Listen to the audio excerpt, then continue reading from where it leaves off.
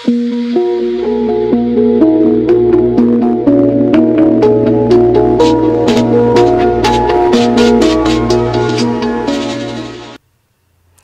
ಶಾಂತಿ. ಮುರುಳಿಯ ದಿನಾಂಕ ಇಪ್ಪತ್ತೊಂದು ಆರು ಎರಡು ಸಾವಿರದ ಇಪ್ಪತ್ತೆರಡು.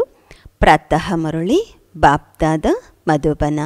ತಂದೆ ತಿಳಿಸುತ್ತಾರೆ, ಮಧುರ ಮಕ್ಕಳೇ, ಈ ನಿಮ್ಮ ಬ್ರಾಹ್ಮಣ ಜೀವನ ದೇವತೆಗಳಿಗಿಂತಲೂ ಶ್ರೇಷ್ಠವಾಗಿದೆ. ಏಕೆಂದರೆ ಈ ಸಮಯದಲ್ಲಿ ತಾವು ಮೂರು ಲೋಕಗಳನ್ನು, ಮೂರು ಕಾಲಗಳನ್ನು ಅರಿತುಕೊಂಡಿದ್ದೀರಾ? ತಾವು ಈಶ್ವರಿಯ ಸಂತಾನರಾಗಿದ್ದೀರಾ? ಪ್ರಶ್ನೆ, ತಾವು ಮಕ್ಕಳು ಈಗ ಯಾವ ಉನ್ನತ ಗುರಿಯನ್ನು ಮುಟ್ಟುತ್ತೀರಾ? ಉತ್ತರ, ಮನುಷ್ಯರಿಂದ ದೇವತೆಗಳಾಗುವುದು ಉನ್ನತವಾದ ಗುರಿಯಾಗಿದೆ, ಶ್ರೇಷ್ಠ ಲಕ್ಷ್ಯವಾಗಿದೆ. ಆದ್ದರಿಂದಲೇ ಹೇಳುತ್ತಾರೆ, ಏರಿದರೆ ವೈಕುಂಠದ ರಸದ ಅನುಭವವಾಗುವುದು. ಇದು ತುಂಬ ಶ್ರೇಷ್ಠ ಏರಿಕೆಯಾಗಿದೆ. ಆದರೆ ವಿಚಿತ್ರವೇನೆಂದರೆ, ಇದನ್ನು ಒಂದು ಸೆಕೆಂಡಿನಲ್ಲಿ ಏರುತ್ತೀರಾ? ಇಳಿಯುವುದರಲ್ಲಿ ಸಮಯ ಎಡಿಸುತ್ತದೆ ಮತ್ತೊಂದು ಪ್ರಶ್ನೆ, ಪಾಪದ ಕೊಡ ಒಡೆಯುವುದರಿಂದಲೇ ಜಯ ಜಯಕಾರವಾಗುವುದು. ಇದರ ಯಾವ ನೆನಪಾರ್ಥ ಭಕ್ತಿ ಮಾರ್ಗದಲ್ಲಿದೆ? ಉತ್ತರ, ಭಕ್ತಿ ಮಾರ್ಗದಲ್ಲಿ ತೋರಿಸುತ್ತಾರೆ, ಕೊಡದಿಂದ ಸೀತೆ ಹೊರ ಬಂದರು ಎಂದು. ಅಂದರೆ ಅರ್ಥ, ಯಾವಾಗ ಪಾಪದ ಕೊಡ ತುಂಬಿ ಒಡೆಯುವುದು, ಆಗ ಸೀತೆ ಮತ್ತು ರಾಧೆಯ ಜನ್ಮವಾಗುವುದು. ಗೀತೆ, ಈ ಪಾಪದ ಪ್ರಪಂಚದಿಂದ ನಮ್ಮನ್ನು ದೂರ ಕರೆದುಕೊಂಡು ಹೋಗಿರಿ. ಓಂ ಶಾಂತಿ. ಮಧುರಾತಿ ಮಧುರ ಮಕ್ಕಳೇ ಭಕ್ತಿ ಮಾರ್ಗದ ಗೀತೆಯನ್ನು ಕೇಳಿದ್ದೀರಾ?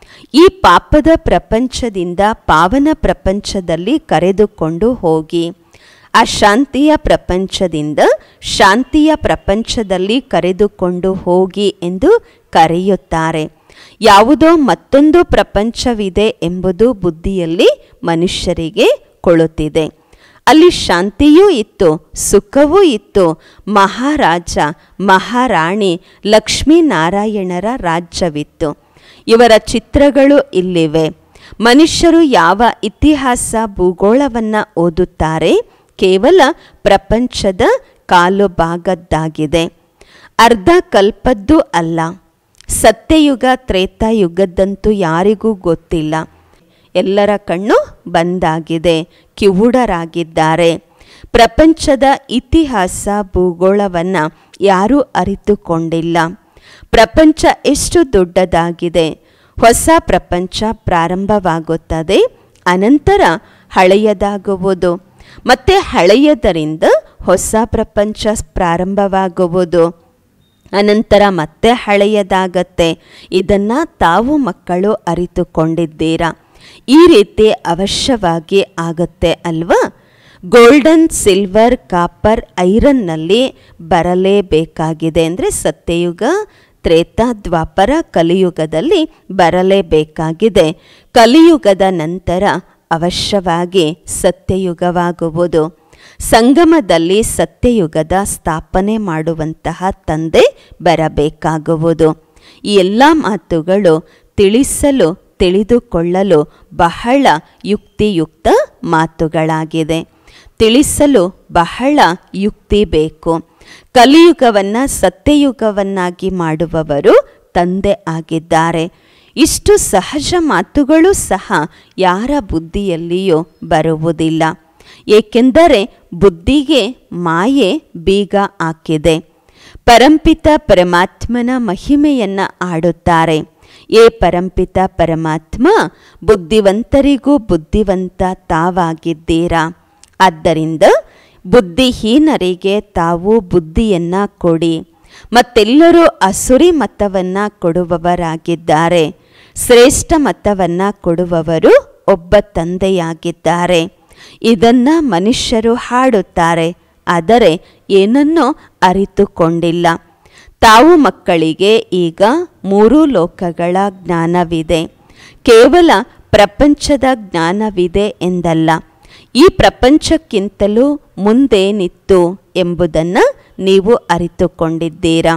ಮೂಲವತನ ಸೂಕ್ಷ್ಮವತನ ಸ್ಥೂಲವತನ ಈ ಮೂರು ಲೋಕಗಳ ಜ್ಞಾನ ತಮ್ಮ ಬುದ್ಧಿಯಲ್ಲಿ ಇದೆ. ಯಾರು ಇದನ್ನು ಚೆನ್ನಾಗಿ ಓದುತ್ತಾರೆ ಅವರ ಬುದ್ಧಿಯಲ್ಲಿಯೇ ಇದೆ. ತಾವು ಶಾಲೆಯಲ್ಲಿ ಓದುತ್ತೀರಾ ಅಂದಾಗ ವಿದ್ಯಾಭ್ಯಾಸವನ್ನು ಪೂರ್ಣವಾಗಿ ಬುದ್ಧಿಯಲ್ಲಿ ಇಟ್ಟುಕೊಳ್ಳಬೇಕು. ಈಗ ಮೂರು ಕಾಲಗಳ ಜ್ಞಾನ ನಿಮ್ಮ ಬುದ್ಧಿಯಲ್ಲಿದೆ. ಆದ್ದರಿಂದ ತಾವು ತ್ರಿಕಾಲದರ್ಶಿಗಳಾಗಿದ್ದೀರಾ? ಆದರೆ ನಿಮಗೆ ತ್ರಿಲೋಕಿನಾಥ ಎಂದು ಹೇಳುವುದಿಲ್ಲ. ಏಕೆಂದರೆ ತ್ರಿಲೋಕಿನಾಥ ಯಾರೂ ಆಗುವುದಿಲ್ಲ. ತ್ರಿಕಾಲದರ್ಶಿ ಎಂಬ ಅಕ್ಷರವೂ ಸರಿಯಾಗಿದೆ. ಮೂರು ಲೋಕಗಳು, ಮೂರು ಕಾಲಗಳನ್ನು ತಾವು ಅರಿತುಕೊಂಡಿದ್ದೀರಾ? ಅವಶ್ಯವಾಗಿ ನಾವು ಮೂಲವತನದಲ್ಲಿ ಇರುತ್ತೇವೆ. ನವಾತ್ಮರು ಅಲ್ಲಿ ನಿವಾಸ ಮಾಡುತ್ತೇವೆ. ಈ ಜ್ಞಾನ ಮತ್ಯಾರ ಬುದ್ಧಿಯಲ್ಲಿಯೂ ಇಲ್ಲ. ಪರಂಪಿತ ಪರಮಾತ್ಮ ತ್ರಿಕಾಲದರ್ಶಿಯಾಗಿದ್ದಾರೆ. ಆದಿ ಮಧ್ಯ ಅಂತ್ಯ ಮೂರು ಕಾಲಗಳನ್ನು ಮೂರು ಲೋಕಗಳನ್ನು ಅರಿತಿದ್ದಾರೆ. ಲಕ್ಷ್ಮೀನಾರಾಯಣರಿಗೆ ವೈಕುಂಠನಾಥ ಎಂದು ಹೇಳುತ್ತಾರೆ. ಆದರೆ ತ್ರಿಲೋಕಿನಾಥರೆಂದು ಹೇಳುವುದಿಲ್ಲ. ಅವರು ಸ್ವರ್ಗಕ್ಕೆ ಮಾಲೀಕರಾಗಿದ್ದಾರೆ. ಮತ್ತೆ ತಂದೆ ಸ್ವರ್ಗದ ಮಾಲೀಕರು ಎಂದು ಹೇಳಲಾಗುವುದಿಲ್ಲ. ಎಲ್ಲ ಮಾತುಗಳು ತಿಳಿದುಕೊಳ್ಳುವಂತಹ ಮಾತುಗಳಾಗಿವೆ. ಯಾವುದೇ ಮನುಷ್ಯರು ಪರಮಾತ್ಮನಂತೆ ಆಗಲು ಸಾಧ್ಯವಿಲ್ಲ. ಆದ್ದರಿಂದಲೇ ಪರಮಾತ್ಮನಿಗೆ ತಿಳಿದು ತಿಳಿಸುವಂತಹವರು ಜ್ಞಾನಸಾಗರ ಎಂದು ಹೇಳಲಾಗುವುದು. ಆದರೆ ಅರ್ಥವನ್ನು ತಿಳಿದುಕೊಂಡಿಲ್ಲ. ಅವರು ಪರಮಾತ್ಮ ತಿಳಿದು ತಿಳಿಸುವವರಾಗಿದ್ದಾರೆ. ಆದ್ದರಿಂದ ಎಲ್ಲರ ಹೃದಯವನ್ನು, ಎಲ್ಲರ ಮನಸ್ಸಿನಲ್ಲಿರುವುದನ್ನು ಅರಿತುಕೊಳ್ಳುತ್ತಾರೆಂದು ಮನುಷ್ಯರು ತಿಳಿದುಕೊಳ್ಳುತ್ತಾರೆ. ಅಥವಾ ಸರ್ವವ್ಯಾಪಿ ಎಂದು ಹೇಳಿ ನಿಂದನೆ ಮಾಡಿದ್ದಾರೆ. ಈಗ ತಾವು ಈಶ್ವರಿಯ ವಂಶಾವಳಿ ಆಗಿದ್ದೀರಾ? ಮತ್ತೆ ದೈವಿ ವಂಶಾವಳಿ ಆಗುತ್ತೀರಾ? ಈಶ್ವರ ಶ್ರೇಷ್ಠನ ಅಥವಾ ಸತ್ಯಯುಗದ ದೇವತೆಗಳು ಶ್ರೇಷ್ಠನ? ಆ ದೇವತೆಗಳಿಗಿಂತಲೂ ಸೂಕ್ಷ್ಮವತನವಾಸಿ ದೇವತೆಗಳು ಶ್ರೇಷ್ಠರಾಗಿದ್ದಾರೆ. ಸೂಕ್ಷ್ಮವತನವಾಸಿ ಬ್ರಹ್ಮರವರಿಗೆ ಶ್ರೇಷ್ಠ ಎಂದು ಹೇಳುತ್ತೀವಿ ಅಲ್ವಾ? ಅವರು ಅವ್ಯಕ್ತ ಆಗಿದ್ದಾರೆ.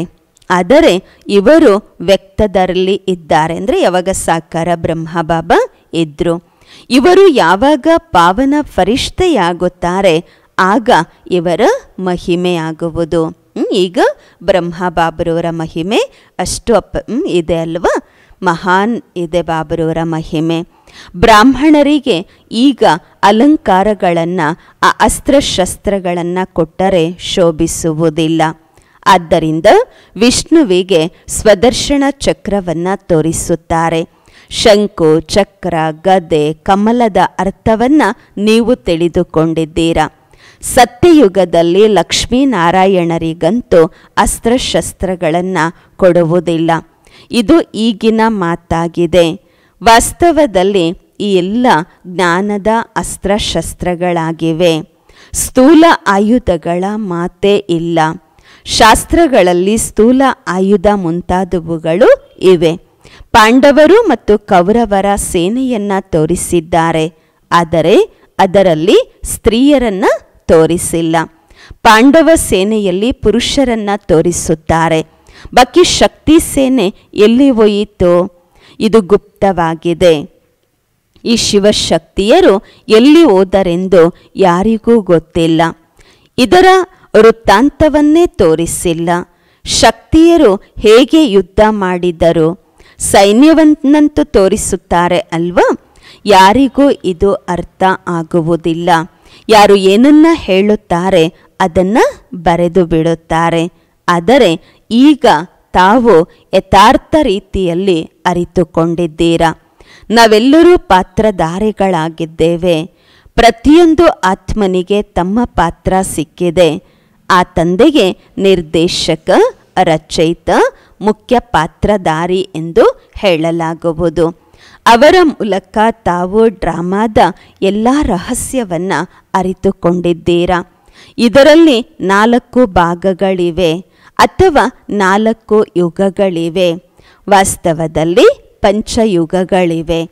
ಐದನೆಯದು ಈ ಕಲ್ಯಾಣಕಾರಿ ಸಂಗಮ ಯುಗವಾಗಿದೆ. ಸತ್ಯಯುಗ ಮತ್ತು ತ್ರೇತಾಯುಗದ ಸಂಗಮವಿದೆ. ಸತ್ಯ ತ್ರೇತಾಯುಗಕ್ಕೆ ಕಲ್ಯಾಣಕಾರಿ ಯುಗ ಎಂದು ಹೇಳುವುದಿಲ್ಲ.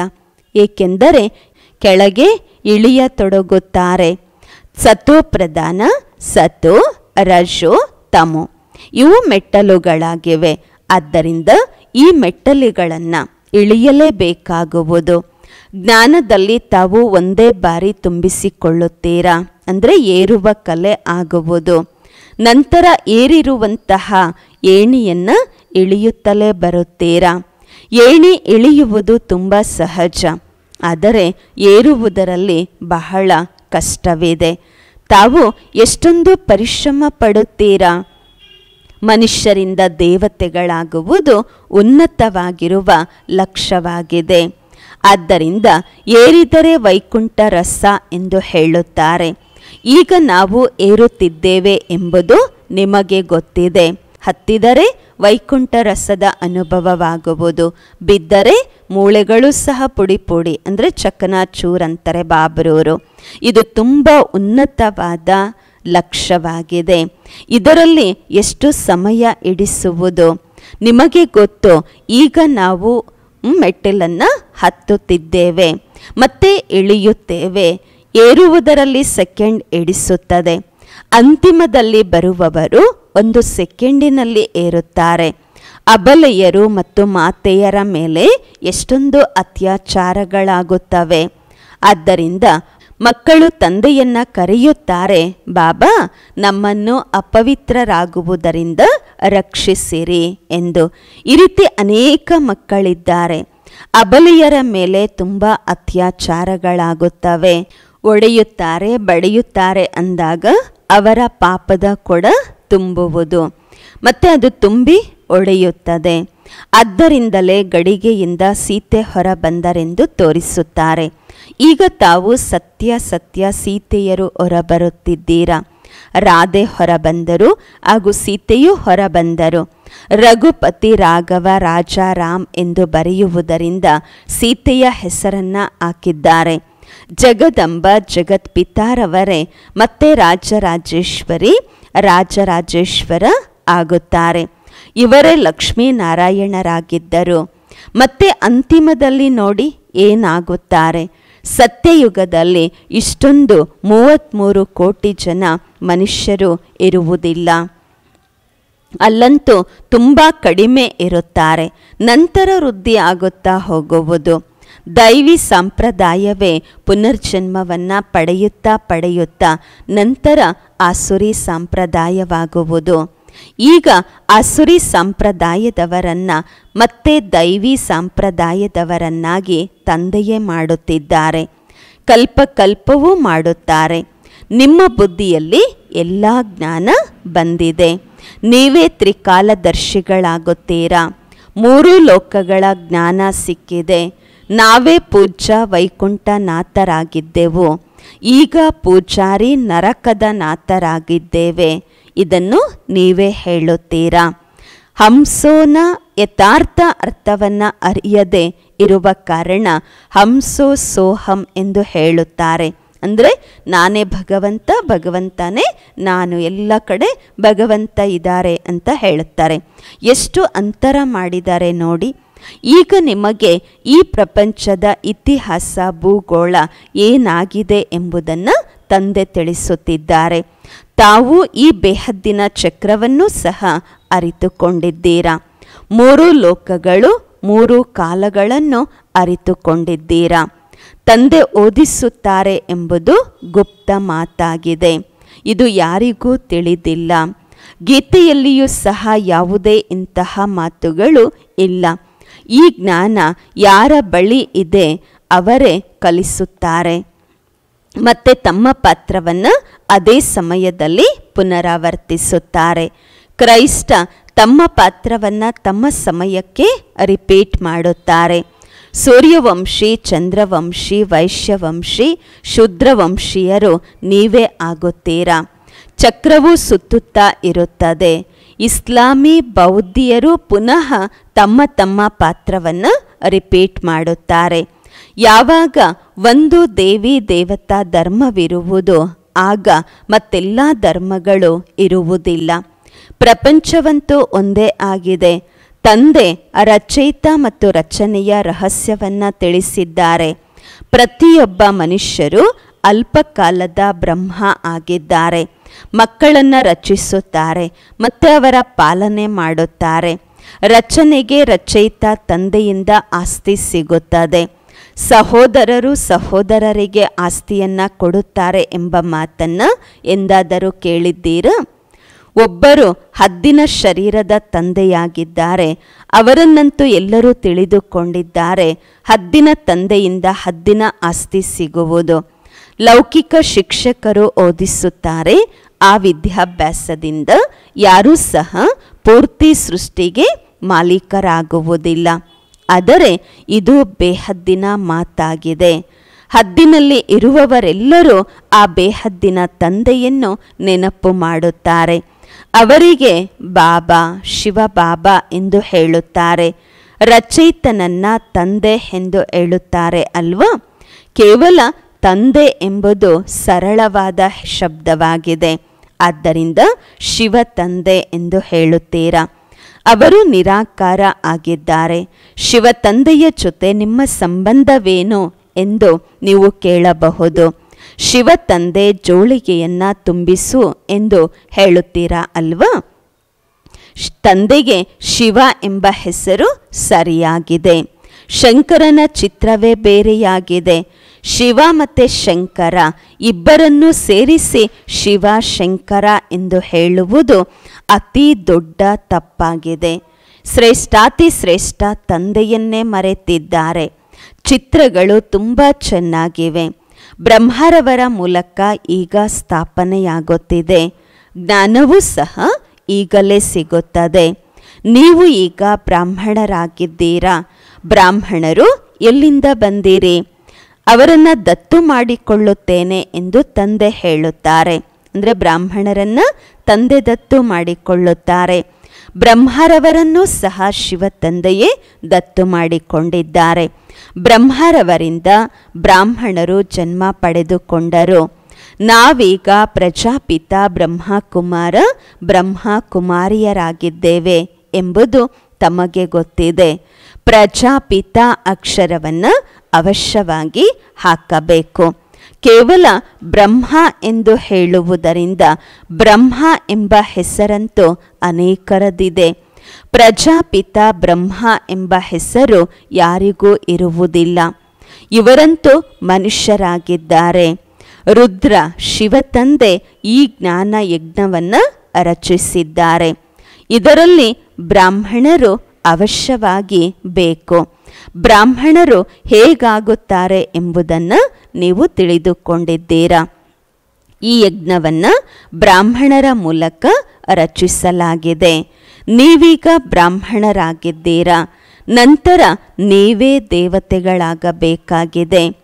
ಬರುವುದು ಸಹ ಪುನಃ ಈ ಸೃಷ್ಟಿಯಲ್ಲಿಯೇ. ಮತ್ತೆ ಇವರೆಲ್ಲರೂ ಎಲ್ಲಿಗೆ ಹೋಗುತ್ತಾರೆ? ಈ ರುದ್ರ ಜ್ಞಾನ ಯಜ್ಞದಲ್ಲಿ ಸ್ವಾಹ ಆಗುತ್ತಾರೆ.